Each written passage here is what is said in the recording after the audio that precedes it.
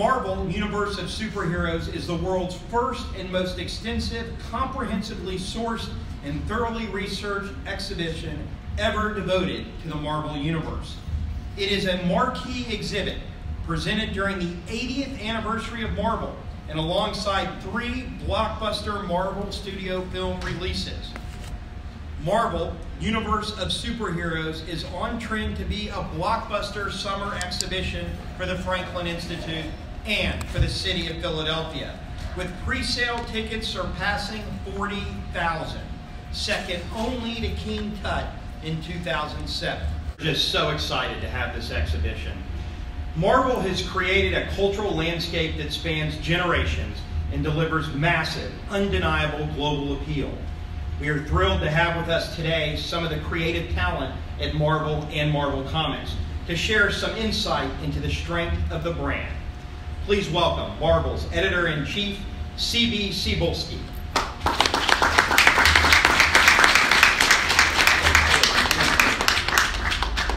Good morning, everyone. Good morning. So, from the men and women of science to the men and women of superheroes, uh, we could not be more pleased uh, to be here and look forward to speaking with you all. Um, I remember being a boy, a young boy, reading my first Marvel comics. I was the kind of kid that would stay up late at night after your mother told you to go to bed and, you know, read with a flashlight under the, the, the blanket until she came in and, you know, made me go to bed and still get up again and read more comics. And from back in those days, I always wanted to follow in the footsteps of Stan Lee. And I can't tell you what a mind-blowing experience is for me now to be not only the position I am, but for Marvel to be in the position that we as a company are in.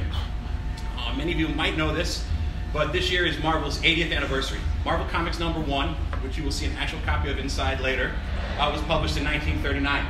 And the company has grown since then over those 80 years. Uh, someone once said that Marvel is the longest continuous, continuous fictional narrative in history. Over 80 years, the tapestry that was created back in Marvel Comics number one has continued to this day. Uh, and it has grown, and I always often compare it to a tree. Uh, Martin Goodman, the artist of those original books, and later Stan Lee, Jack Kirby, John Romita, all the creators of all these wonderful characters and stories, planted that seed with the comics. And that seed has since grown and branched out. The great TV shows of the 80s and 90s to today, everything that we've been doing. You know, the uh, consumer products, uh, and of course, the films, which is now the top of the tree, the widest branches that everyone around the world has seen. Marvel has become this global phenomenon that started with comics. And people always ask me, what makes Marvel special? What separates Marvel from some of these other fictional kind of properties and you know genres and even other superhero companies? What's the Marvel magic? And there really is no one answer, but I like to compare it often to the four H's. The humanity, the heroism, the heart, and the humor of the characters that you find in our comics. Not just the superheroes, but the human heroes that you find under the mask. That is what's so special about Marvel. And as you walk through the exhibition today, you're going to see not only uh, the superheroes, but those characters that are underneath the masks. The Peter Parkers, the Tony Starks, the Bruce Banners, the Steve Rogers. They're equally on display here.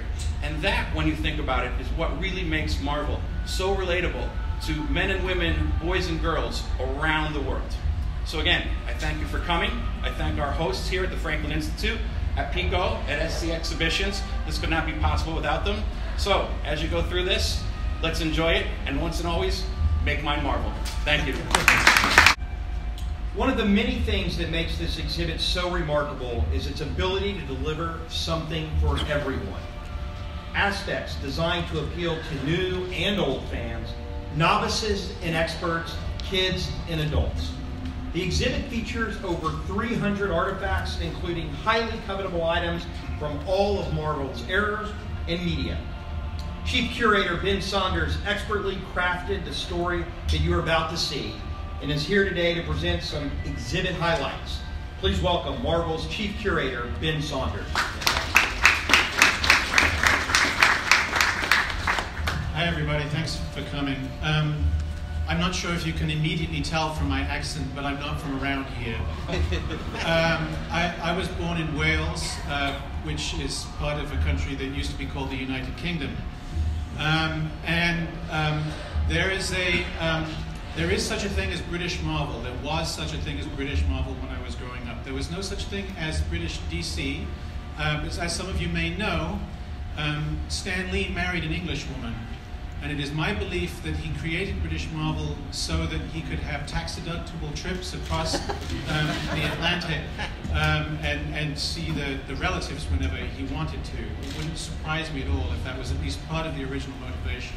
But whatever the cause, the result was that as a very small child, um, uh, I encountered Marvel Comics. I, I am a professor of literature at the University of Oregon, and I learned to read from Marvel Comics.